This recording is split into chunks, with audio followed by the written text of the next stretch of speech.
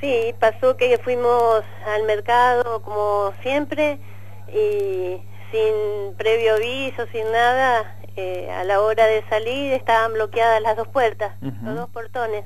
Claro. ¿Y por qué los bloquearon? De las dos salidas que hay, eh, había manifestaciones, cortaron los piqueteros. Ajá. ¿Y qué, qué, qué, querían los piqueteros? ¿Por qué, ¿Por qué fueron al mercado? Yo creo que habrán ido ahí por la cantidad de gente que, que hay, que se maneja, que para hacer ruido, que lo escuchen, eh, porque es un movimiento muy grande de gente. Claro, en el mercado. Era como una forma de llamar la atención. En plena venta, estaban en plena en pleno trabajo, tipo una y media, dos, cortaron cuando ya se empiezan a, ir. Claro. Sí. Una y media, dos, hablamos 13.30, 14 a, la, tarde. ¿Y hasta qué hora estuvieron ahí adentro? Y ocho, ocho y media. De, 20, 30 por ahí. Claro, claro, qué bárbaro. ¿Cuánto tiempo? ¿Y no podían salir ustedes? No, no, ni entrar ni salir. Eh, teníamos bloqueadas las dos, las dos salidas. Ni siquiera los productores, los de ahí adentro podían salir. Claro. No, nada. ¿Se sintieron como rehenes de esta situación? Eh, fuimos rehenes. Fuimos rehenes porque no dejaban... Eh, una camioneta salió que el hombre quiso salir igual porque al principio no había muchos, después se juntaron eh, le apedrearon, le bajaron los vidrios, le golpearon la camioneta. Así que me amenazaban que si, si alguien más salía iba a ser peor. Claro. ¿Y esto, esto fue en, en el mercado donde habitualmente todos los verduleros van a buscar sus mercaderías? Estábamos todos allá. ¿Todos los sancarlinos, todos, los verduleros sancarlinos? Hay gente que se volvió sin poder comprar.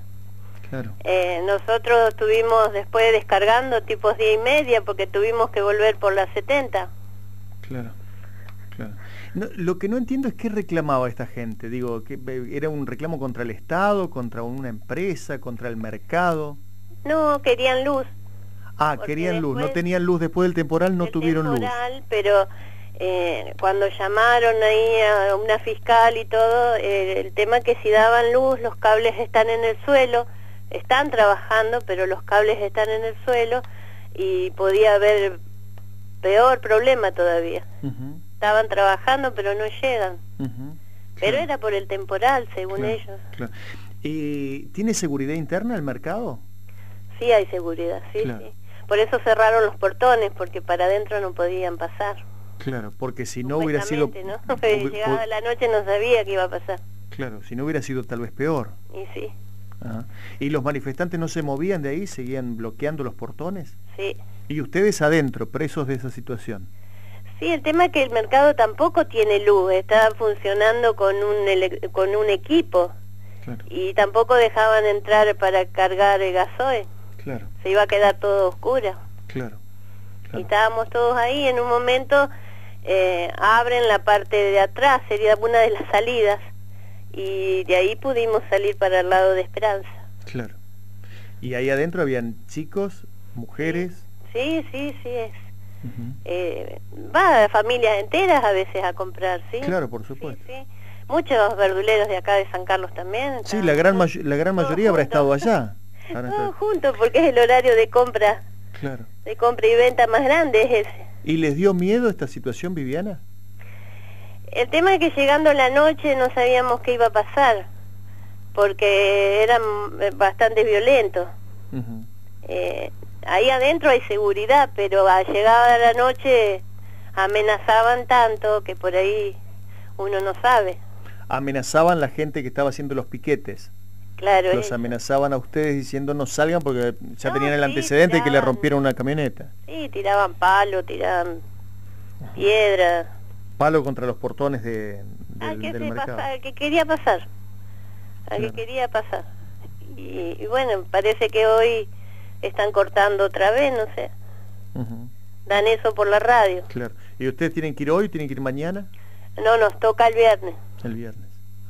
Así que esperemos poder salir. Claro. Con, un, con, con miedo se vive esta situación, me imagino. Digo, con incertidumbre, al menos. Eh, la, la, gente que hace años que está ahí adentro decía que hacía mucho que no lo, no lo hacían. Eh, hacía mucho tiempo, hará 10 años que no se hace un piquete ahí en, la puerta. Pero bueno, esta vez se dio en varios puntos de la ciudad y nos tocó a nosotros. Claro, qué barro, qué terrible. Eh, acá estaba viendo que según la información que publican algunos colegas de Santa Fe, cerca de 3.000 personas hay en el mercado concentrador. Estaba lleno, estaba en pleno en plena compra y venta, es, supieron el horario que hacer. Claro. Y hay, sí, hay chicos, hay mujeres, está lleno, es, es, es, muy grande ahí, el que conoce sabe. Claro, claro. Y sí, y te asusta un poco. Seguro, seguro porque uno va a, a, trabajar en realidad. Claro, nosotros ya nos veníamos porque ya habíamos comprado y estábamos en la cola, que se hace cola para poder salir y ahí nos quedamos, creíamos que era un camión que estaba obstaculizando delante nuestro, hasta que mi marido se baja y, y de allá adelante le dijeron, no, dice, está, está todo parado, este, están los piqueteros.